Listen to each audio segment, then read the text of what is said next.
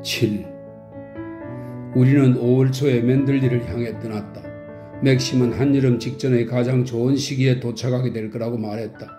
첫 제비가 날아오고 초롱꽃이 피기 시작하는 때 계곡에서는 진달래가 아낌없이 향기를 내뿜고 피처럼 붉은 철쭉도 지천으로 피어나는 때 말이다. 그 샘비가 내리치는 아침에 차를 타고 런던을 출발한 우리는 오후 5시, 그러니까 차 마실 즈음에 맞추어 맨들리에 도착했다. 돌이켜보면 그때의 내 모습은 결혼한 지 7주 된 새색시다운 옷차림과는 거리가 멀었다.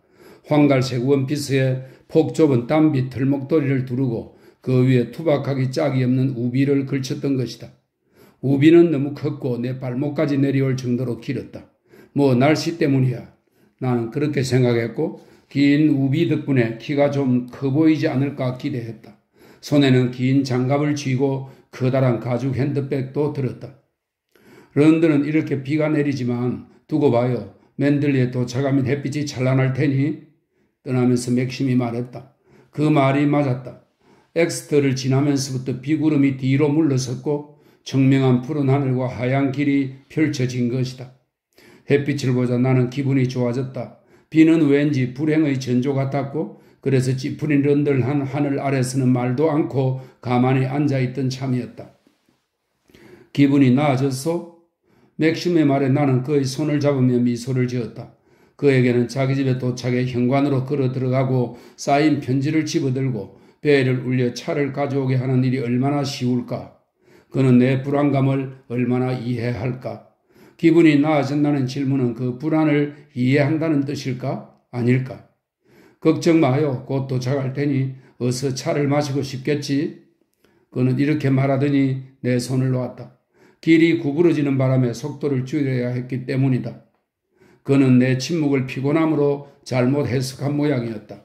맨들리 도착이 내게는 오래 고대해온 일인 동시에 그만큼 두려운 일이라는 생각을 그는 하지 못했다.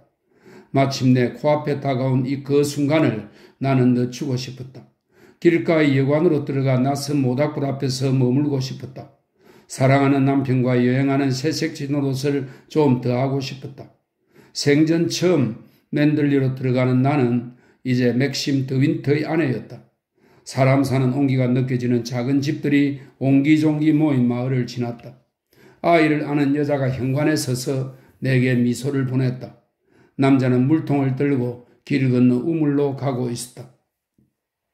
우리 둘도 그 부부의 이웃이 되어 저렇게 살면 좋겠다는 생각이 들었다. 저녁 낮에 맥심은 대문간에서 직접 키운 키 큰 접시꽃을 자랑스럽게 바라보며 담배를 피우고 나는 깔끔한 부엌을 바삐 오가며 저녁상을 차리는 것이다. 옷장 위에 놓인 시계는 째깍째깍 큰 소리를 낼 테고 찬장에는 반짝거리는 접시들이 놓여 있겠지. 저녁을 먹은 후 맥심은 난로가에서 신문을 읽고 나는 바느질을 한다. 그런 삶은 특별히 요구하는 기준 따위 없이 그저 평화롭고 안정적이지 않을까? 이제 3km만 가면 돼요. 저쪽 언덕이 보여 언덕은 계곡으로 이어지고 그 너머에 바다가 있어. 맨들리가 바로 거기라오. 나는 억지로 미소를 지었지만 대답은 하지 않았다. 못 견디게 불안하고 불편했다. 아니, 무서웠다. 기쁨 섞인 설렘도 행복한 자신감도 사라졌다. 나는 처음으로 학교에 가는 아이 혹은 처음으로 집을 떠나온 초보 한이와도 같았다. 결혼 후 7주라는 짧은 시간 동안 어느 정도 생겨났다고 여겼던 침착함은 갈기갈기 찢겨 바람에 날렸다. 가장 기본적인 행동 규칙에도 자신이 없었다. 손가짐은 어떻게 해야 하나? 앉아야 하나? 서야 하나? 식사 때는 어떤 숟가락과 포크를 써야 하나? 그 우비는 이제 벗어야겠군. 그가 나를 힐끗 보며 말했다. 여기는 비가 전혀 오지 않았던 모양이니 당신의 그 귀여운 모피 목도리를 똑바로 해요. 런던에서 옷을 많이 샀어야 했는데 이렇게 서둘러 오게 해서 미안하오. 당신이 괜찮다면 전 아무렇지도 않아요. 대개의 여자들은 그저 자나깨나 옷 생각뿐이던걸. 그가 무심히 말하는 중에 차는 길 모퉁이를 돌아 교차로에 도달했다. 높은 담장이 시작되었다. 도착했소. 흥분 어린 목소리였다. 나는 두 손으로 차의 가죽 시트를 꽉 잡았다. 길은 왼쪽으로 꺾이면서 양쪽으로 활짝 열린 높은 철문 안으로 이어졌다. 대문 옆 문지기 집의 어두운 창 안쪽에서 사람들이 밖을 내다보았고 뒷마당을 뛰어다니던 아이 하나도 호기심 어린 눈길로 나를 보았다. 나는 등을 한껏 뒤로 기댔다. 심장이 두방망이질을 쳤다. 창 안쪽의 사람들이 뒷마당의 아이가 왜 쳐다보는지 이유는 분명했다. 내가 어떤 사람인지 궁금한 것이다. 작은 부엌에 모여 키득거리며 떠드는 소리가 들려오는 듯 했다. 모자밖에 못 보아서 새 부인은 자기 얼굴을 보여주지 않는군. 뭐 내일이면 알 텐데. 그는 드디어 내 마음을 눈치챘는지 손을 잡고 입을 맞춘 후 살짝 웃었다. 사람들이 관심을 집중해도 기분 나빠하지 마시오. 모두들 당신이 어떤 사람인지 궁금해하고 있으니 아마 다음 몇 주 동안은 당신 얘기뿐일걸. 그저 평소처럼 행동하면 곧 다들 당신을 좋아하게 될 거요. 저택 관리도 신경 쓸 것 없어요. 댄버스 부인이 다 알아서 하니까 그냥 맡겨두면 돼요. 처음 만나면 부인이 좀 무뚝뚝하게 느껴질 거요. 좀 색다른 사람이거든. 괜히 마음 상하지 말고 그러려니 하시오. 저쪽 관목들이 보여. 저 수국이 피면 담장이 온통 푸른 빛으로 변한다오. 나는 대답하지 않았다. 오래전 상점에서 그림 엽서를 사서 나오는 길에 어린 나이 조그만 두 손에 내리쬐던 밝은 햇살에 대해 그리고 새로 산 그림 엽서가 퍽 마음에 들어 내 사진첩에 잘 넣어두어야지. 맨들리라니? 정말 예쁜 이름이야? 라고 혼자말 하던 일에 대해 생각하는 중이었다. 이제 내가 맨들리의 일부가 되는 것이다. 이곳이 우리 집이다. 여름 내내 맨들리에서 지낼 겁니다. 다니러 오세요. 라는 식의 편지를 쓰게 되겠지. 지금은 낯선 이 길이 나중에는 훤히 아는 산책로가 되어 정원사의 작업 결과를 확인하며 다니게 될 거야. 나무 옆에 문지기 집에 들러 몸은 좀 어떠세요? 라고 인사를 건네면 늙은 부인이 내 손을 잡고 부엌으로 이끌 것이다. 그 순간 나는 아무 걱정 없이 편안한 미소를 머금고 집에 돌아온 것을 즐거워하는 맥심이 부러웠다.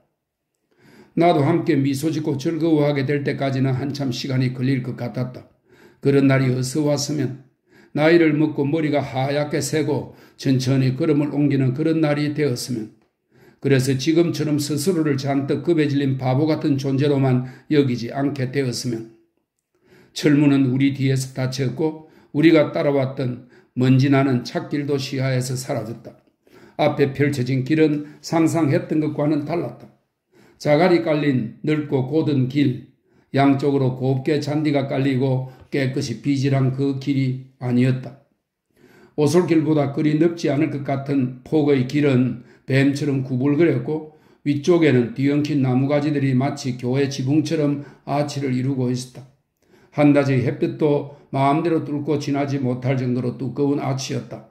그 사이로 가늘게 새어든 햇살이 바람결에 파도처럼 흔들리며 길 위에 황금빛 무늬를 그렸다. 아주 고요했다. 소리 하나 들리지 않았다. 찾길에서는 감미로운 서풍이 내 얼굴을 간지리고 길 옆을 한꺼번에 춤추게 했지만 여기는 바람도 없었다. 자동차 엔진조차 전보다 낮고 조용하게 움직이는 듯 했다. 계곡을 향해 내리막길이 시작되자 나무들이 한층 더 가까워졌다. 차창 밖으로 만질 수 있을 정도였다. 매끈하고 흰 몸통의 거대한 너도밤나무들, 그리고 이름을 알 수 없는 다른 나무들이 수많은 가지를 뻗어 팔짱을 끼고 있었다. 좁은 여울 위로 놓인 작은 다리를 건넜다.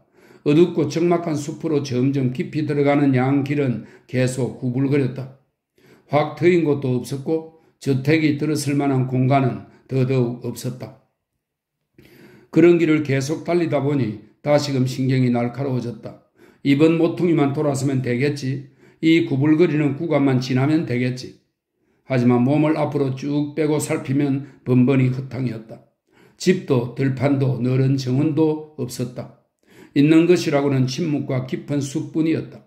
젊은이나 찾기는 딴 세상, 딴 시대에 속한 듯 느껴졌다.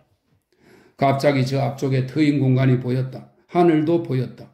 검은 나무들이 듬성듬성해지고 이름 모를 관목들이 사라졌다. 양쪽으로 피처럼 붉은 담, 머리 높이까지 오는 높은 담이 나타났다. 철쭉꽃 사이에 파묻힌 형국이었다. 나는 너무도 갑작스러운 변화에 깜짝 놀랐고 당황스럽기까지 했다. 검은 숲을 너무 오래 지나온 터라 전혀 마음의 준비가 되어 있지 않았던 것이다. 나뭇잎 하나, 장가지 하나 보이지 않았다. 머리가 어찌라고 취해버릴 정도로 그렇게 선명한 빨간 꽃들만 끝없이 펼쳐졌다. 그런 철쭉은 난생 처음이었다. 나는 맥심을 바라보았다. 그는 미소 지으며 마음에 더? 라고 물었다. 나는 당장 그럼요 라고 대답했지만 그게 진심인지 아닌지는 알 수 없었다. 내가 아는 철쭉이란 소박한 화단에 둥글게 심어진 분홍빛이나 자주빛 꽃이었다. 하지만 이건 하늘을 향해 솟구치는 괴물들, 적진으로 돌겨가는 대군을 연상시켰다. 지나치게 아름답고 지나치게 힘이 넘쳤다. 식물 같지가 않았다. 드디어 저택이 멀지 않았다. 그제야 길이 넓어졌다. 양옆의 붉은 철쭉 담장은 여전했다. 마지막 모퉁이를 돌자 맨들리였다. 내가 생각했던 바로 그 맨들리. 오래전 그림 엽서에 있던 바로 그 맨들리였다. 흠없이 우아하고 아름다운 내 생각보다 훨씬 웅장하고 사랑스러운 모습이었다. 테라스는 정운을 향해 튀어나왔고 정운은 바다를 향하고 있었다. 너른 돌계단 앞에 도착하자 창문을 통해 사람들이 잔뜩 모인 홀의 광경이 눈에 들어왔다. 맥심이 짜증을 섞어 두들거렸다. 이런 빌어먹을 내가 이런 건 딱 질색한다는 걸 잘 알면서 그는 끽 소리 나게 브레이크를 잡아당겼다. 무슨 일이죠? 저 사람들은 다 누구예요? 당장 사람들의 시선을 받게 되었구려 댄버스 부인이 우리를 환영한답시고 하인들과 영지 사람들을 다 불러 모은 모양이요. 당신은 아무 말 안 해도 돼요. 내가 다 알아서 할 테니. 나는 장거리 자동차 여행이 남긴 피로와 한기를 느끼면서 차 문 손잡이를 찾으려고 더듬거렸다. 그 사이에 집사가 하인을 대동하고 계단을 내려와 문을 열어주었다. 집사는 나이가 많고 다정한 얼굴이었다. 나는 손을 내밀며 미소를 지어 보였지만 그는 내 미소를 보지 못한 것 같았다. 무릎 담요며 내 가방을 꺼내느라 허리를 굽혔기 때문이다. 그는 내가 차에서 내리는 것을 도와주면서 맥심 쪽을 쳐다보았다. 자, 프리스, 이제 도착했네. 맥심이 장갑을 벗었다. 런던을 떠날 때는 비가 내리고 있었지. 여기는 비가 오지 않은 모양이야. 모두 잘 있나? 그렇습니다. 지난 한 달 내내 비가 오지 않았지요. 다시 돌아오셔서 기쁩니다. 마님과 함께 즐거운 여행이 되셨기를 바라고요. 우리 둘 다 즐거웠네, 프리스. 먼 길을 오니 피곤하군. 차도 마시고 싶고 이렇게 모여 있을 줄 몰랐어. 그는 홀 쪽으로 고개를 돌렸다. 댄버스 부인이 지시했습니다. 집사는 무표정한 얼굴로 대답했다. 그럴 줄 알았어. 맥심이 내 쪽을 돌아보았다. 자, 어서 갑시다. 오래 걸리진 않을 거요. 곧 차를 마시게 되겠지. 우리는 함께 계단을 올랐다. 집사와 하인은 무릎 담요와 우비를 들고 뒤따랐다. 명치 끝이 찌르, 찌르는 듯 아팠고 긴장감에 목구멍이 조여 들었다. 지금도 눈을 감으면 그때의 내 모습이 보인다. 원피스 차림에 땀밴 손으로 장갑을 꼭 쥐고 문간을 넘어서는 왜소하고 의색한 모습. 돌로 장식된 거대한 홀, 서재로 통하는 넓은 문, 벽에 걸린 명화들, 2층 발코니로 이어지는 멋진 계단, 그리고 호를 메우다 못해 뒤쪽 복도와 식당에까지 늘어선 얼굴, 얼굴들. 겹겹이 늘어선 그 얼굴들은 입을 벌리고 호기심에 가득 찬 눈으로 나를 바라보았다. 마치 양손이 뒤로 묶인 채 처형대로 끌려온 죄수를 보는 듯 했다. 그들 가운데 누군가 앞으로 나섰다. 검은 옷을 차려입은 여자로 큰 키에 몹시 여윈 체구였다. 광대뼈가 튀어나오고 움푹 들어간 두 눈이며 백지장처럼 하얀 얼굴이 해골처럼 보였다. 여자는 곧장 내 앞으로 다가왔다. 나는 그 당당하고 위험 있는 몸가짐에 부러움을 느끼며 손을 내밀었다. 여자의 손은 생명이 없는 듯 차디 찼다. 댄버스 부인이요. 맥심이 소개했다. 여자가 말을 시작했다. 차디찬 손으로 내 손을 맞잡은 채 움푹 들어간 눈으로 나를 뚫어지게 응시하면서 말이다. 내 시선은 그 눈길을 받아내지 못하고 흔들렸다. 여자의 손이 꿈틀 움직였다. 나는 마음이 불편했고 부끄러웠다. 댄버스 부인의 말은 정확히 기억나지 않는다. 아마 맨들리의 모든 사람을 대표해서 나를 환영한다고 했을 것이다. 격식을 차린 인사말이었고 목소리는 그 손처럼 차고 생기가 없었다. 말을 마친 후 부인은 가만히 기다렸다. 나는 얼굴이 빨개져서 몇 마디 감사의 말을 중얼거리다가 장갑을 떨어뜨리고 말았다. 부인은 몸을 굽혀 장갑을 주어 건네주었다. 그 순간 부인의 입술에 가벼운 조소가 스쳐 지나갔다. 내 출신을 꿰뚫어 본 듯 했다. 그 얼굴 표정은 왠지 나를 불편하게 했다. 부인이 뒤로 물러서서 다른 사람들 속에 섞인 다음에도 내 눈에는 그 검고 긴 형상이 두드러져 보였다. 부인의 시선은 내게 고정되어 있었다. 맥심이 내 팔을 잡고 짤막한 감사 인사를 했다. 그런 인사 따위는 전혀 힘들지 않다는 듯 완벽하게 편하고 자유로운 말투였다. 이어 그는 나를 서재로 데려갔고 등 뒤에서 문을 닫았다. 우리는 다시 둘이 되었다. 코크스페니얼 두 마리가 벽난로 옆에서 일어나 다가왔다. 맥심에게 앞발로 매달린 개들은 코를 킁킁거리며 그의 손을 찾았다. 길고 부드러운 귀는 그를 향한 애정을 표현하듯 뒤로 젖혀져 있었다. 이어 두 마리는 내 쪽으로 다가와 수상쩍다는 듯 냄새를 맡았다. 한쪽 눈이 먼 어미개는 곧 탐색을 끝내고 벽난로 옆 자기 자리로 가서 누웠다. 하지만 새끼인 제스프는 내 손에 코를 박고 내 무릎에 얼굴을 올렸다. 두 눈이 사려 깊어 보였다. 내가 부드러운 귀를 톡톡 두드리자 녀석은 꼬리를 흔들어 댔다. 초라한 모피 목도리를 풀고 모자를 벗어 장갑과 가방 옆에 던져두자 기분이 한결 나아졌다. 벽마다 천장까지 책이 꽂힌 넓고 편안한 방. 혼자 사는 남자가 정말 좋아할 것 같은 방이었다. 커다란 벽난로 근처에는 의자들이 놓였고 개들을 위한 바구니도 있었다. 하지만 의자에 움푹 들어간 자국이 난 걸 보면 개들은 바구니에 거의 들어가지 않는 게 분명했다. 기다란 창문은 잔디밭을 향해 있었고 잔디밭 너머로는 멀리 바다가 가물거렸다. 서재는 해묵은 평화로운 냄새를 풍겼다. 마치 그곳의 공기는 거의 변하지 않은 채 늘 똑같았던 것처럼 말이다. 정원이나 바다에서 어떤 공기가 이리로 흘러 들어오든 소용없으리라. 아무도 읽지 않는 곰팡내 나는 책들, 소용돌이 무늬가 새겨진 천장, 짙은 색 벽, 무거운 커튼으로 이루어진 이 공간의 해묵고 평화로운 공기에 섞여 들어가게 될 뿐이니까. 그것은 오래된 곰팡이 냄새, 돌에는 이끼가 끼고 창문마다 담쟁이 등굴로 뒤덮인 조용한 교회의 냄새였다. 평화를 위한 공간, 명상을 위한 공간에 어울리는 냄새 말이다. 곧 차가 들어왔다. 프리스와 젊은 하인이 무슨 장중한 의식을 치르듯 차상을 차렸다. 맥심이 잔뜩 쌓인 편지들을 훑어보는 동안 나는 시럽이 뚝뚝 뜯는 핫 케이크와 보슬보슬한 케이크를 즐기며 뜨거운 차를 홀짝거렸다. 그는 가끔 눈을 들어 내게 미소를 지었고 다시 편지 쪽으로 고개를 숙였다.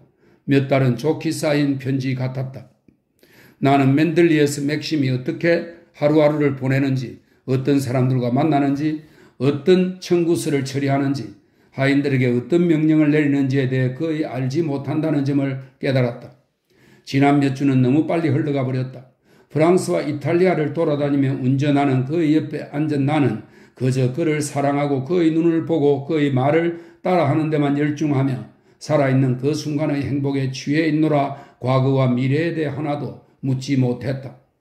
그때 그는 내가 생각했던 것보다 훨씬 유쾌했고 내가 꿈꾸었던 것보다 훨씬 부드러웠으며 젊고 열정적이었다. 내가 처음 만났던 맥심, 자기만의 비밀 속에서 앞을 응시하며 식당에 홀로 앉아있던 그 손님이 아니었던 것이다. 나의 맥심은 웃고 노래하고 수면 위로 돌멩이를 던지며 장난을 쳤고 내 손을 잡았다. 미간에는 주름이 없었고 어깨 위에도 무거운 짐이 없었다. 내가 아는 그는 연인이자 친구였다. 그 몇 주 동안 나는 그가 다시 돌아가야 할 질서 정연하고 일상적인 삶이 있음을 그래야 짧은 휴가를 그저 공백기로 만들게 될 본래의 생활이 있음을 잊고 지냈던 것이다. 그는 어떤 편지에서는 얼굴을 찌푸렸고 어떤 편지에서는 미소를 지었으며 또 다른 편지에서는 무표정했다. 신의 은총이 없었다면 내가 뉴욕에서 보낸 편지도 저 중에 섞여 있었으리라. 그는 발신인을 보고 잠시 당황하거나 무심한 표정으로 그 편지를 읽고 하품을 하며 바구니에 던져 넣은 후 찻잔으로 손을 뻗쳤으리라. 그 생각만으로도 나는 오싹해졌다. 뉴욕에서 편지를 보내는 내가 아닌 여기 이렇게 앉은 내가 될 가능성은 얼마나 희박했나. 어찌되었든 간에 그는 지금처럼 저렇게 앉아 늘 해왔던 생활을 계속했을 것이 아닌가. 내 생각은 거의 하지 않으면서 말이다. 나는 뉴욕에서 베노프 부인과 브릿지를 하며 영원히 오지 않을 편지를 날마다 기다렸겠지. 나는 의자에 기대고 앉아 방안을 둘러보며 내가 틀림없이 이곳에 그림 엽서에 나왔던 멋진 저택, 그토록 유명한 맨들리에 와 있다는 사실을 확인했다. 이 모든 것, 내가 앉은 깊숙한 의자, 전장까지 닦게 꽂힌 엄청난 책들, 벽에 걸린 그림, 정원, 숲, 맨들리 등등이 그의 것인 동시에 이제는 그의 부인이 된 내 것이라는 데 익숙해져야 한다. 우리는 여기서 함께 늙어가야 한다. 그때도 이 방에 앉아 지금 있는 개들의 후손을 옆에 두고 차를 마셔야 한다. 그때도 도서관은 지금과 똑같은 해묵은 냄새를 풍기겠지. 이 방은 아이들, 그러니까 맥심과 나의 아이들이 진흙투성이 부츠를 신고 낚싯대며 그렇게 방망이, 주머니 칼, 활과 화살 따위를 손에 들고 뛰어들어와 소파에 벌렁 들어눕던 그 시절을 기억할 거야. 지금은 깨끗하게 닦인 저 테이블 위에도 언젠가는 나비와 나방, 깨끗한 천으로 감싼 새알 같은 게 든 상자가 놓이겠지. 내가 이런 잡동사니를 여기 두면 안 된다. 자, 어서 공부방으로 옮겨두렴. 하고 말하면 아이들은 서로를 소리쳐 부르면서 도망쳐 버릴 거야? 막내 녀석은 혼자 남아 자기 보물을 끌어안고 훌쩍일 테고. 문이 열리면서 나는 상상해서 깨어났다. 브리스와 하인이 자상을 치우러 온 것이다. 마님, 댄버스 부인이 방을 보여드리도 될, 될지 여쭤봐 달랍니다. 맥심이 고개를 들었다. 동쪽 방 보수는 잘 되었나? 아주 멋지게 되었습니다. 물론 일꾼들이 말썽을 부리기도 했고 도착했을 때까지 공사가 끝나지 않을까봐 댄버스 부인이 애를 태우기도 했지요. 하지만 지난 월요일에 말끔하게 마무리되었습니다. 아주 만족하실 거라고 생각합니다. 햇볕도 잘 듭니다. 건물 보수를 했나요? 내가 물었다. 아, 우리가 사용하게 될 동쪽 방을 새로 칠하고 약간 손을 봤어. 프리스 말대로 이 집 동쪽은 해가 훨씬 잘 든다고. 아름다운 장미 정원 쪽으로 창이 나 있지. 내 어머니가 살아계실 때에는 손님용으로 사용했던 곳이요. 편지를 마저 읽고 금방 뒤따라갈 테니 댄버스 부인과 구경하고 있어요. 두 사람이 친구가 될 수 있는 좋은 기회요. 나는 천천히 자리에서 일어나 홀로 나왔다. 다시금 신경이 날카로워졌다. 나는 서재에서 기다렸다가 그의 팔을 잡고 함께 방을 구경하고 싶었다. 댄버스 부인과 단둘이 가기는 싫었다.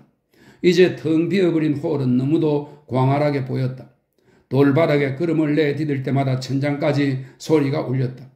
나는 마치 교회에서 그렇듯 그 발소리가 죄스러웠고 그것 때문에 위축되었다. 하지만 멍청한 발소리는 어떻게 해도 줄어들지 않았고 펠트 신발을 신은 프리스가 날 바보로 생각할 것 같았다. 집이 아주 크군요.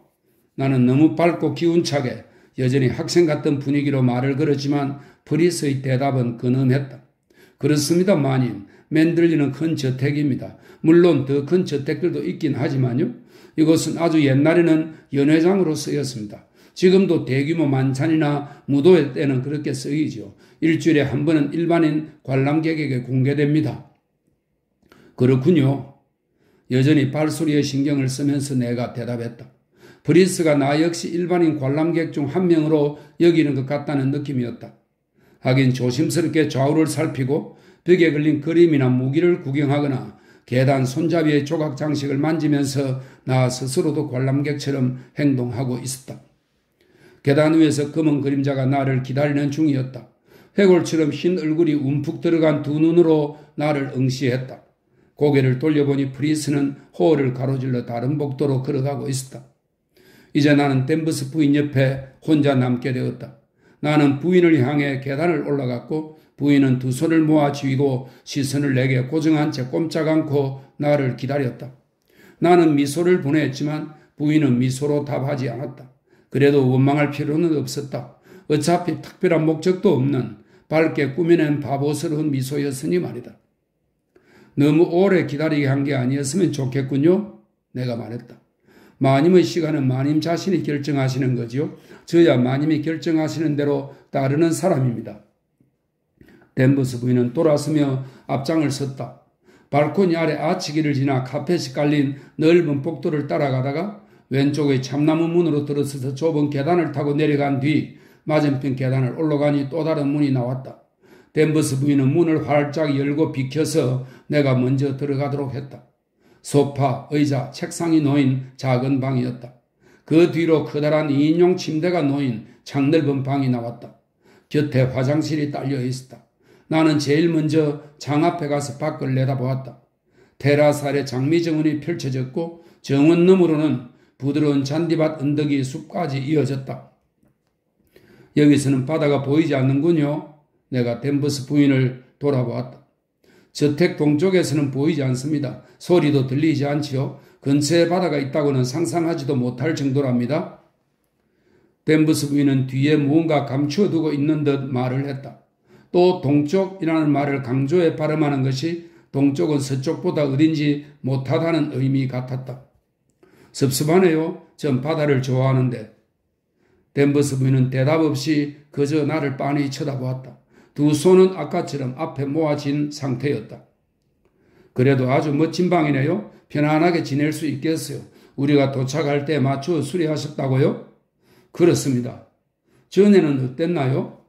벽지는 자주색이었고 커튼 도 달랐습니다. 더윈트 씨는 방 분위기가 좀 무겁다고 생각하셨지요?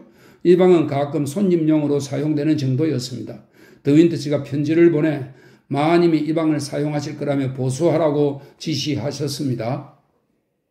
그럼 이건 남편이 쓰던 침실이 아니군요. 네, 동쪽 방을 사용하신 적은 없습니다. 그렇군요. 제게는 그 얘기를 하지 않았네요. 나는 화장대로 가서 머리를 빗기 시작했다. 내 빗들이 화장대에 가지런히 놓인 것을 보면 짐 정리가 이미 끝난 모양이었다. 맥심에게서 빗 세트를 선물 받은 것이 다행이었다. 비싼 새 빗 덕분에 댄버스 부인 앞에서 주눅들 일이 없어진 것이다. 앨리스가 마님 짐을 정리했습니다. 몸종이 올 때까지 돌봐드릴 겁니다. 댄버스 부인이 말했다. 나는 다시 미소를 지어 보이고는 빗을 내려놓았다. 전 몸종을 두어 본 적이 없어서요. 앨리스가 집안일을 하면서 내 시중도 들면 되지 않을까요? 내가 의색한 말투로 말했다. 댄버스 부인은 내가 장갑을 떨어뜨릴 때에 지었던 바로 그런 표정을 지었다. 계속 그럴 수는 없습니다. 마님 같은 신분의 부인들은 개인 몸종을 두는 법입니다. 나는 얼굴이 화끈 달아올라 다시 빗을 집어들었다. 말에 돋친 가시가 분명하게 느껴졌기 때문이다. 필요하다고 생각한다면 그렇게 해주시지요. 일을 배우고 싶어하는 어린 소녀가 좋겠어요? 나는 상대의 시선을 피하며 말했다. 말씀하시는 대로 하겠습니다. 잠시 침묵이 흘렀다. 이제 그만 댄버스 부인이 나가주었으면 싶었다. 부인은 어째서 가만히 서서 검은 옷 앞자락에 손을 모으고 나를 바라보는 걸까?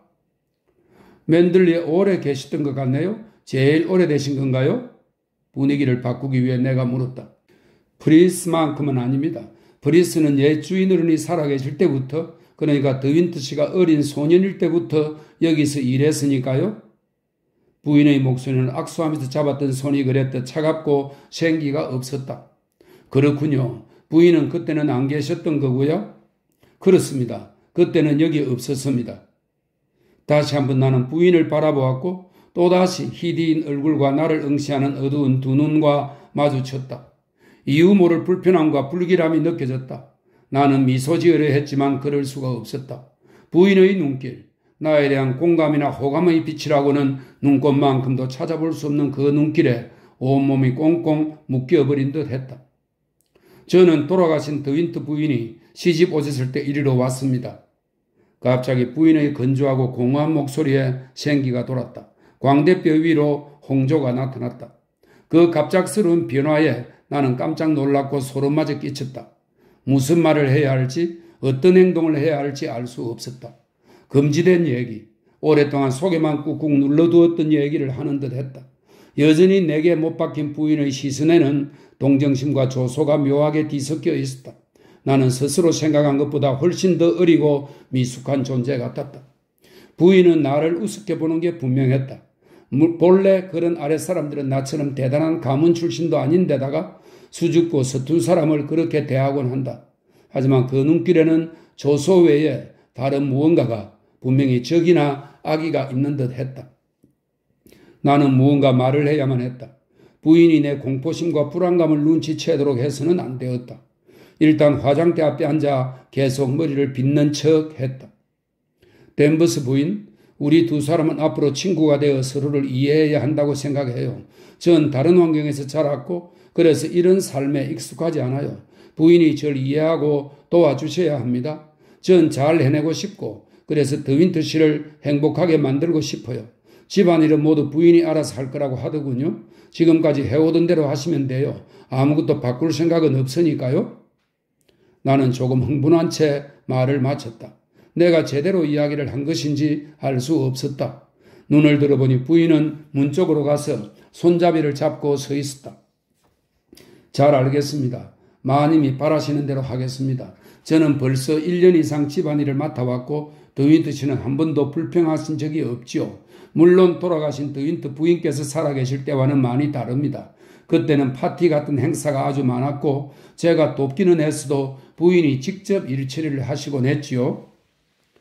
부인이 신중하게 의위를 고르고 있다는 느낌, 자기 말이 내게 어떻게 받아들여지는지 얼굴 표정을 살피고 있다는 느낌이 들었다. 저는 부인에게 맡기는 편이 좋겠어요. 그렇게 하지요. 댄버스 부인의 얼굴에 처음 홀에서 만나 악수할 때의 표정, 조소와 경멸이 담긴 표정이 떠올랐다.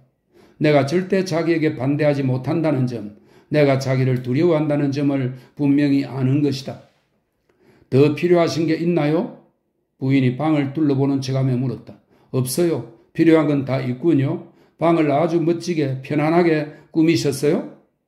마지막 말은 부인의 마음을 사기 위한 마지막 시도였다. 부인은 어깨를 으쓱해 보였지만 끝내 미소는 짓지 않았다. 저는 더윈트 씨의 지시를 따랐을 뿐입니다. 부인은 여전히 문 손잡이를 잡은 채 머뭇거렸다. 할 말이 남았지만 적당한 의위를 고르지 못하는 듯 혹은 말할 짬을 보고 있는 듯 했다. 나는 부인이 그만 가주었으면 싶었다. 그림자처럼 서서 해골 같은 얼굴에 움푹 들어간 눈으로 나를 응시하지 말고 말이다. 마음에 들지 않는 점이 있다면 바로 말씀해 주십시오. 물론 그렇게 하겠어요. 부인이 하고 싶었던 말은 분명 그게 아니었다. 다시금 침묵이 흘렀다. 더윈트 씨가 옷장 얘기를 꺼내시거든 옮길 수가 없었다고 전해 주십시오. 아무리 해도 좁은 복도를 통과할 수가 없더군요. 이쪽 방들이 서쪽보다 작았어요. 가구 위치가 마음에 안 드신다고 하셔도 제게 알려주십시오. 가구 위치를 결정하느라 아주 힘들었습니다. 갑자기 부인이 다른 얘기를 꺼냈다. 걱정하지 마세요, 댄버스 부인. 남편도 아주 만족스러워 할 겁니다. 고생을 많이 하셨다니 미안하군요. 저는 이 방을 보수한다는 걸 전혀 몰랐어요. 괜히 그럴 필요 없었는데 말입니다. 전 서쪽 방에서도 행복하고 편하게 지냈을 테니까요. 부인은 흥미롭다는 듯한 눈길로 나를 보면서 문 손잡이를 돌렸다. 더윈트 씨는 마님께서 이쪽을 더 좋아하실 거라고 말씀하셨습니다. 서쪽 방들은 모두 고풍스럽지요. 침대도 이것보다 두 배는 더 클 겁니다. 아주 아름다운 방이죠. 술을 놓은 의자며 손으로 조각한 벽난로 선반 등 값진 물건들 뿐이랍니다. 저택에서 가장 아름다운 방으로 창문은 잔디밭과 바다 쪽으로 나 있습니다. 나는 마음이 불편했고 수치심을 느꼈다.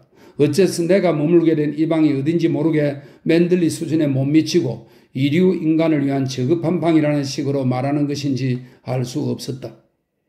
아마도 가장 아름다운 그 방은 일반에게 공개하려는 모양이죠. 부인은 문 손잡이를 돌리다 말고 나를 내 눈을 바라보았다.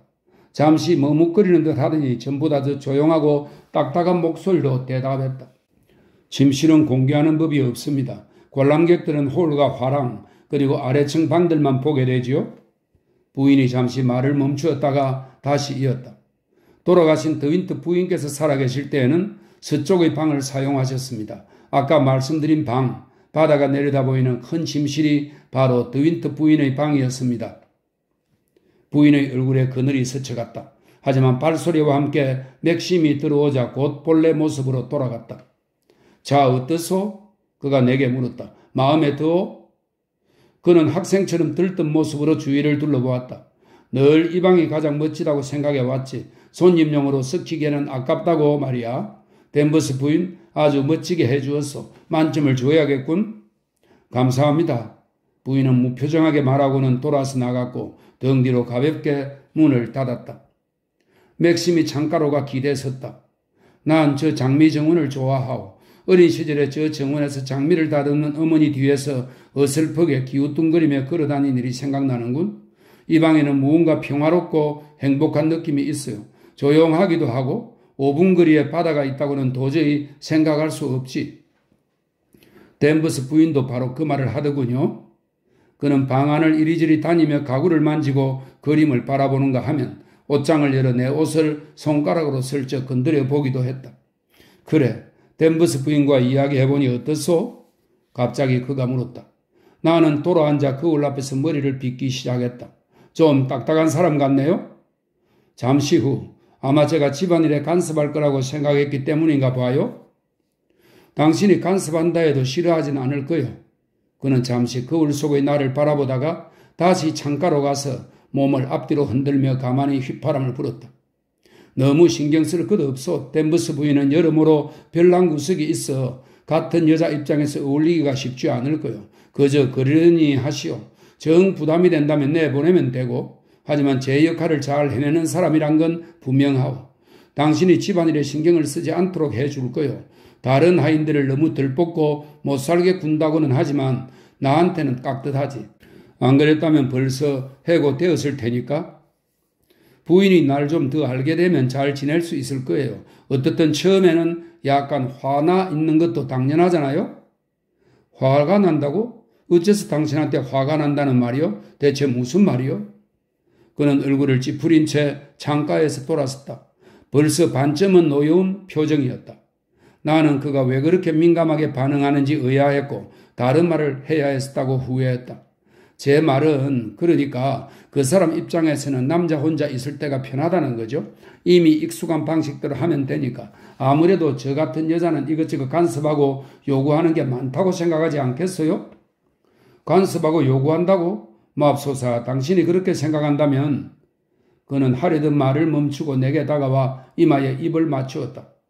댄버스 부인 일은 잊어버립시다. 나한테는 별 관심 없는 일이니 말이요. 자, 이제 좀 둘러보러 갑시다. 그날 저녁에는 다시 댄버스 부인을 만나지 않았고 우리도 더 이상 부인 이야기를 하지 않았다. 머릿속에서 댄버스 부인을 지우자 나는 다시 행복하고 당당해졌다. 맥심이 내 어깨에 팔을 올리고 아래층 방들이며 그림을 보여주는 동안 나는 꿈에 그렸던 내 모습, 맨들리 안주인이 된 내 모습을 현실로 받아들이기 시작했다. 돌바닥에서 울리는 내 발소리도 더 이상 바보스럽지 않았다. 맥심의 징박은 구두는 더 큰 소리를 냈기 때문이다. 뒤따라오는 개들의 발소리도 다정하게 느껴졌다. 그날이 첫날 저녁인 것이 기뻤다. 그림을 보는데 시간이 걸리는 바람에 맥심이 시계를 보며 옷 갈아입고 식사하기에는 늦었다고 말해준 것도 기뻤다. 하녀 앨리스가 무엇을 입겠냐고 물어보고 옷 입기를 도와주는 불편한 상황도 피했을 뿐더러 베노프 부인이 자기 딸에게 맞지 않는다는 이유로 내게 준 드레스를 입고 어깨를 드러낸 채 긴 계단을 지나 추운 홀로 내려가는 일도 면하게 된 셈이었다. 나는 격식을 차린 저녁 식사에 대해 공포심을 가지고 있었지만 옷을 갈아입지 않고 보니 식당에서 함께 식사하던 때와 똑같이 마음 편하고 즐거웠다. 나는 편안한 차림으로 이탈리아와 프랑스 여행에 대해 이야기하며 웃었다. 심지어 여행에서 찍은 사진을 식탁 위에 펼쳐놓기도 했다. 프리스와 하인은 식당의 웨이터들처럼 깍듯이 행동했다. 댄버스 부인처럼 나를 똑바로 바라보는 일은 없었다. 저녁을 먹은 후 우리는 서재로 갔다. 커튼이 내려지고 벽난로에서는 더 많은 장작이 타고 있었다. 오월의 밤은 쌀쌀한 편이어서 벽난로의 온기가 고마웠다. 저녁 식사 후 이렇게 둘이 앉아 있어 보기는 처음이었다. 여행할 때는 걷던 차를 타던 계속 돌아다니며 카페도 들어가고 다리에 기대 풍경도 바라보곤 했기 때문이다. 맥심은 벽난로 왼쪽 의자에 앉아 자연스럽게 서류 더미에 손을 뻗었다. 머리 뒤에는 넓은 쿠션을 대고 담배를 물고 있었다. 이게 거의 일상이야. 나는 생각했다. 늘 이래 왔던 거야. 그는 만족스럽고 편안한 표정으로 서류 읽기에 몰두했다. 집주인다운 당당한 모습이었다. 한 손으로 턱을 받치고 다른 손으로는 제 스퍼의 부드러운 귀를 만지작거리며 이런저런 생각에 빠져있던 나는 갑자기 나보다 먼저 이 의자를 차지하고 앉았던 사람을 떠올렸다. 그 사람도 이 쿠션에 몸을 기대고 이 손잡이에 팔을 올려놓았으리라. 이 컵에 이 은수 주전자의 커피를 따라 마시며 이 개를 쓰다듬어 주었으리라. 갑자기 뒤에서 누군가 문을 열어젖히기라도 한 듯 한기가 느껴졌다. 나는 레베카의 의자에 앉아 레베카의 쿠션에 기대고 있었다. 내게 다가온 제스프는 예전에 받아먹던 설탕을 기억하는지 내 무릎에 머리를 익숙하게 올렸다. 8. 맨들리의 생활에 그토록 많은 규칙이 있으리라고는 전혀 생각지 못했다. 첫날 아침 맥심은 일어나자마자 옷을 입고 아침도 먹기 전에 편지를 썼다. 9시가 조금 넘어 내가 허둥지둥 내려가자 그는 아침을 거의 다 먹고 과일 껍질을 벗기는 중이었다. 그는 나를 보자 미소 지었다. 먼저 아침을 먹었다고 기분 상할 것 없어요. 내 식사 시간은 정해져 있어. 아침에는 꾸물거릴 시간이 없다오. 맨들리 같은 것을 관리하는 건 큰일이거든. 커피와 따뜻한 음식은 선반에 있어. 아침에는 하인들이 시중을 들지 않아요. 나는 시계가 맞지 않았던 데다가 욕실에서 시간이 오래 걸렸다고 중얼거렸지만 그는 편지 읽기에 열중하느라 제대로 듣지도 않는 눈치였다. 나는 너무나도 훌륭한 아침 식사에 놀랐다. 약간 충격을 받았다고 해도 좋을 것이다. 찻주둔자에 담긴 홍차, 열판에 올려둔 커피, 갓 만들어 뜨거운 스크램블드 에그, 베이컨, 생선 요리가 준비되어 있었다. 삶은 달걀도 전용 열판에 올려두었고 은제 죽그릇에는 죽이 담겼다. 다른 선반에는 햄과 차가운 베이컨이 식탁 위에는 스콘, 토스트, 항아리에 든 다양한 종류의 잼, 마멀레이드, 꿀, 접시에 소담하게 담긴 디저트 과일이 마련되어 있었다. 이탈리아와 프랑스에서는 크루아상 하나에 과일 그리고 커피 한 잔으로 아침을 끝내던 맥심이 10명은 너끈히 먹이고도 남을 이 풍성한 아침 식탁을 아무렇지도 않게 받아들이고 낭비로 생각하지 않는다는 것이 신기했다. 그는 작은 생선 조각을 하나 먹었을 뿐이다. 나는 삶은 달걀 한 개를 집었다. 남은 음식들, 스크램블드 에그며 바삭한 베이컨, 죽, 생선 요리들은 다 어떻게 되는지 궁금해졌다. 내가 모르는 하인들이 부엌 뒷문에서 남은 음식을 기다리기라도 하는 걸까? 혹시 전부 쓰레기통에 버려지는 신세일까? 캐물을 용기가 없으니 나는 아마 영원히 알 수 없으리라. 내게는 당신을 괴롭힐 친척이 별로 없으니 다행이요. 비어트리스 누님과는 거의 만나는 일이 없고 한 분 계신 할머니는 장님이 다 되셨지. 참 비어트리스가 점심 먹으러 와도 되겠냐고 하더군. 아마 이따가 올 거요. 당신을 보고 싶어 하니까. 오늘이요? 나는 땅이 꺼지는 느낌이었다. 아침에 내가 받은 편지로는 그렇소. 오래 있지는 않을 거요. 아마 당신도 누님을 좋아하게 될 걸. 자기 생각을 아주 솔직하게 말하는 사람이요. 당신이 마음에 들지 않았다면 아마 면전에 대고 그렇게 말할 거요. 그 말은 전혀 위로가 되지 않았다.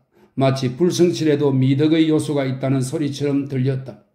맥심은 의자에 쓰리나 담뱃불을 붙였다. 오늘 아침까지 처리해야 할 일이 산더미 갔소.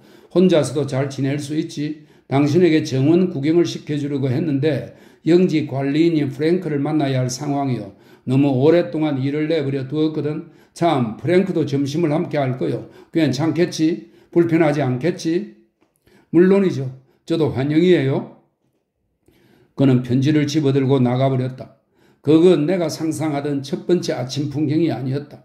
발장을 끼고 함께 산책하며 바다까지 걸어갔다가 늦지막이 돌아와 식은 점심을 들고 그 다음에는 서재 창문에서 내다보이는 밤나무 아래 앉아 있겠거니 생각했던 것이다. 나는 시간을 끌며 너릿너릿 아침을 먹었다. 그러다 보니 어느새 10시가 넘었고 브리스가 나타났다. 나는 화들짝 놀라 자리에서 일어난 후 너무 오래 걸려 미안하다고 사과했다. 그는 아무 말 없이 정중하게 고개를 숙였지만 놀란 눈빛을 숨기지는 못했다. 내가 말을 잘못한 것일까?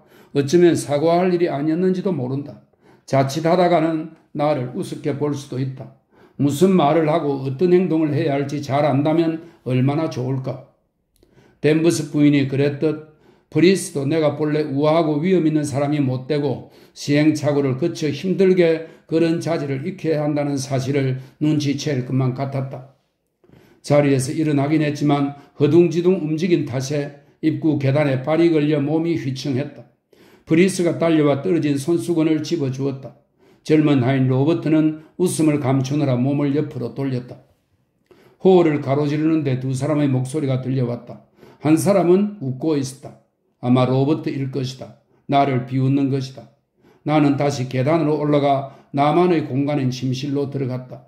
문을 열자 하녀 둘이 방을 청소하느라 분주했다. 한 사람은 바닥을 닦고 다른 한 사람은 옷장의 먼지를 털어내는 중이었다. 하녀들은 나를 보자 깜짝 놀랐다. 나는 곧 문을 닫았다. 아침 시간에는 방에 들어가는 법이 아닌 모양이었다. 나는 집 안의 규칙을 어긴 것이다. 나는 다시 아래층으로 내려왔다. 슬리퍼를 신은 덕분에 조용히 걸을 수 있었다. 서재로 들어가니 창문이 활짝 열려 있고 벽난로도 꺼진 상태여서 추웠다. 나는 창문을 닫고 여기저기 돌아보며 성냥을 찾았다. 하지만 찾을 수 없었다. 이제 어떻게 해야 하지? 나는 고민했지만 배를 울리지는 않았다. 간밤에는 장작이 타오르면서 그토록 따뜻하고 아늑했던 서재가 아침 시간에는 얼음처럼 차가웠다. 위층의 내 침실에는 성냥이 있었지만 또다시 하녀들을 놀라게 하고 싶지는 않았다. 당황하여 나를 바라보는 시선을 견딜 수 없었다. 생각 끝에 브리스와 로버트가 식당에서 나오면 그곳 선반에서 성냥을 가져오기로 했다. 나는 호를 기웃거리며 기척을 살폈다. 여전히 일하는 중인지 말소리, 그릇 옮기는 소리가 들렸다. 잠시 기다리니 조용해졌다. 모두 부엌으로 물러간 모양이었다. 나는 호를 가로질러 다시 식당으로 들어갔다. 내 생각대로 선반에 성냥갑이 있었다. 성냥갑을 집어들고 돌아서는데 브리스가 다시 들어왔다. 급히 성냥을 주머니에 넣으려 했지만 그는 이미 내 손을 쳐다보고 있었다. 뭐 필요한 게 있으십니까, 마님? 아니, 저 성냥을 찾을 수가 없었어요. 내가 어색하게 대답했다. 브리스는 당장 또 다른 성냥갑과 함께 담배를 내밀었다. 나는 또다시 당황했다. 아니, 그게 아니고 서재가 좀 춥더군요.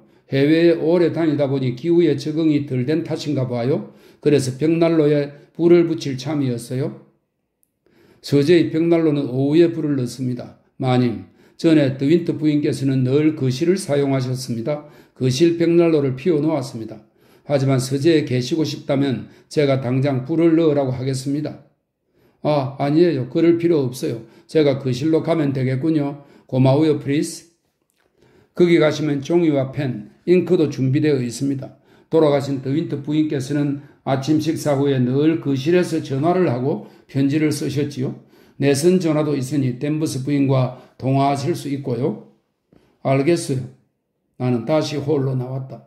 스스로에게 용기를 복돋아 주기 위해 작은 소리로 노래를 흥얼거렸다. 거실이 어딘지 모른다고 맥심이 지난밤에 거실은 보여주지 않았다고 말할 수는 없었다. 브리스는 식당 입구에 서서 내 뒷모습을 보고 있었다. 내가 방향을 안다는 걸 보여주어야만 했다. 계단 왼쪽에 문이 하나 있었다. 용감하게 그리로 가서 기도하는 마음으로 문을 열고 들어가 보니 그곳은 잡동사니를 모아둔 정원 겹방이었다. 꽃장식을 만드는 테이블, 높이 쌓인 등나무 의자, 벽에 걸린 방수 외투들 따위가 눈에 들어왔다. 나는 뒤돌아섰다. 홀로 나와보니 버리스는 아직도 거기 서 있었다. 나는 단 1초도 버리스를 속이지 못한 셈이었다. 응접실을 지나면 거실이 나옵니다, 마님. 계단 오른쪽에 있는 저 문으로 들어가셔서 응접실을 지나신 후 왼쪽으로 도십시오. 고마워요, 프리스. 나는 더 이상 아는 척 하지 않고 겸손하게 대답했다. 나는 들은 대로 긴 응접실을 지났다. 잔디밭과 바다를 향하고 있는 아름다운 방이었다. 일반인 관람객들은 이 방을 구경하겠구나. 나는 생각했다. 브리스는 벽에 걸린 그림이나 가구들의 유래를 흔히 알고 있겠군. 멋진 테이블이나 의자들은 값을 따기, 따지기조차 어려운 고가품이 분명했다. 하지만 거기서 머뭇거리고 싶지는 않았다. 거실 의자에 앉거나 조각된 장식장 앞에서 책을 꺼내는 내 모습을 상상할 수가 없었다. 그 방은 접근 차단 줄이 쳐져 있고 정장에 모자를 쓴 감시인이 문과 의자에 앉은 박물관의 전시실 같은 분위기였다. 응접실을 통과한 후 왼쪽으로 돌자 마침내 처음 보는 거실이 나타났다. 반갑게도 개들이 먼저 와 벽난로 앞에 앉아 있었다. 제스프가 당장 일어나 꼬리를 흔들며 다가와 내 손 안에 코를 밀어 넣었다.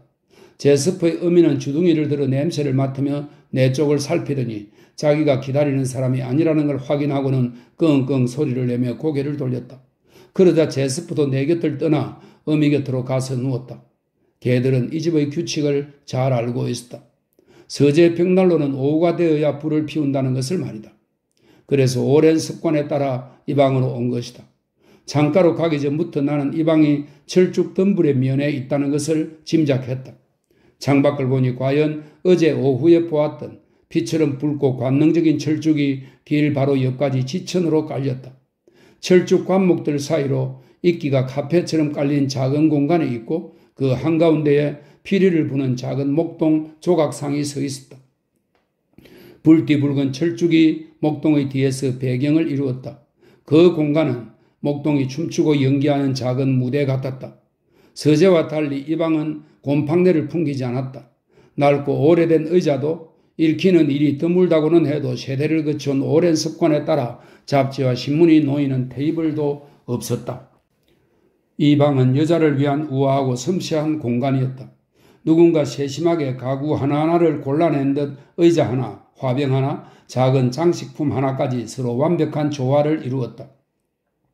대단한 안목을 타고난 사람이 맨들리의 보물 가운데 취향에 맞는 것을 하나씩 골라내어 하급품에는 눈길도 주지 않은 채 이것, 이것, 이것을 가져와요 라고 말하며 방을 꾸민 것 같았다. 시대나 건축 양식이 뒤섞인 경우는 전혀 없었고 그 결과 깜짝 놀랄 만큼 완벽한 작품이 탄생한 것이다. 그럼에도 일반인에게 공개되는 응접실과 달리 냉랭하고 형식적이지 않았다. 창 아래 만개한 철쭉처럼 환하게 빛나는 분위기, 생명력 넘치는 분위기였다. 잘 살펴보니 철쭉은 창 아래에 머무르는데 그치지 않고 방 곳곳에 들어와 있었다. 장식 선반이 화병에도 소파 옆 테이블의 수반에도 책상의 황금 촛대 옆에서도 철쭉이 자태를 뽐내는 중이었다. 심지어 벽지조차 철쭉처럼 붉은 색이었다. 아침 햇살 아래 벽은 더욱 붉게 빛났다. 방 안에 철쭉 아닌 다른 꽃은 하나도 없었다. 이건 의도적인 것일까? 속으로 궁금해졌다. 본래부터 이 방은 철쭉을 염두에 두고 꾸며졌을까? 이 집의 다른 어느 곳도 이렇게 철쭉 투성이는 아니었다. 식당이나 서재에도 꽃이 있었지만 잘 다듬어진 단정한 장식품일 뿐 이토록 두드러지거나 넘쳐나지 않았다. 나는 책상에 앉았다. 더할 나위 없이 화려하고 아름다운 방이 또한 동시에 실용적이고 편안할 수 있다는 점이 신기했다. 이렇게 멋진 취향으로 꾸며지고 게다가 넘칠 듯 꽃으로 가득한 방은 그저 보여주기 위한 공간, 그래서 어딘지 지루한 느낌을 주는 법이라고 생각했기 때문이다. 하지만 이 멋진 책상은 마음 내킬 때 하잘것없는 낙서를 끼적이다가 며칠이고 버려두곤 하는 그런 장난감이 아니었다. 칸이 나뉘어 있는 서류함에는 각 칸마다 답장해야 할 편지, 보관할 편지, 집안 관리, 영지 관련, 메뉴, 기타, 주소록 등의 제목이 붙었다. 비스듬하게 기울어진 바로 그 필체였다. 시집에서 속 표지를 찢어낸 이후 입고 있었던 그 필체를 다시 만나자 나는 자신도 모르게 소스라치게 놀랐다. 당황스러운 마음을 수습하며 서랍을 열자 이번에는 가죽 장정의 공책 표지에서 또다시 그 필체가 나타났다. 맨들리를 찾은 손님들이라는 제목의 공책은 월별, 주별로 어떤 손님들이 왔고 어느 방을 사용했으며 어떤 음식을 먹었는지에 대한 기록이었다. 한 해 동안의 상세하고 완벽한 기록으로 언제든 필요한 내용을 금방 찾아볼 수 있도록 일목요연했다.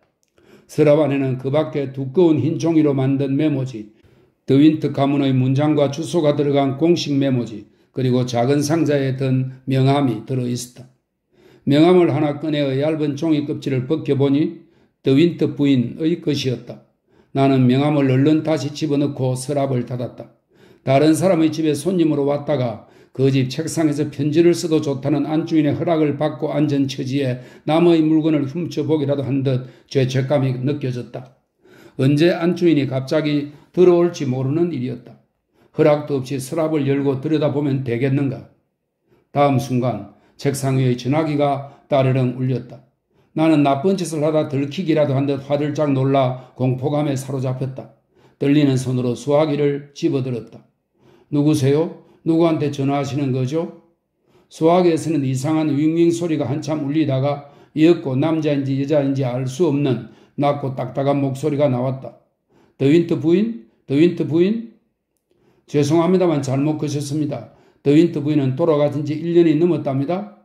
나는 넋이 나간 듯 전화기를 멍하니 바라보았다. 더윈트 부인을 찾는 상대의 목소리가 놀라움에 조금 높아진 후에야 나는 얼굴이 화끈 달아오르며 돌이킬 수 없는 실수를 저질렀다는 것을 깨달았다. 댄버스입니다. 마님. 지금 내선 전화로 말씀드리고 있습니다. 너무도 바보스럽고 이해하기 힘든 실수였으므로 이제 와서 아무 일 없었던 듯 태연하게 넘어갈 수는 없었다.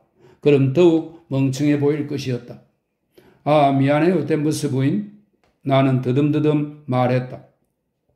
전화벨 소리에 깜짝 놀랐어요. 뭐라 대답해야 할지 모르겠더군요. 나한테 온 전화라고는 생각하지 못했어요. 내선 전화인 줄도 몰랐고요. 놀라게 해드려 죄송합니다, 마님. 아마 댄버스 부인은 내가 책상을 뒤지고 있었다는 걸 알지도 몰라. 나는 생각했다.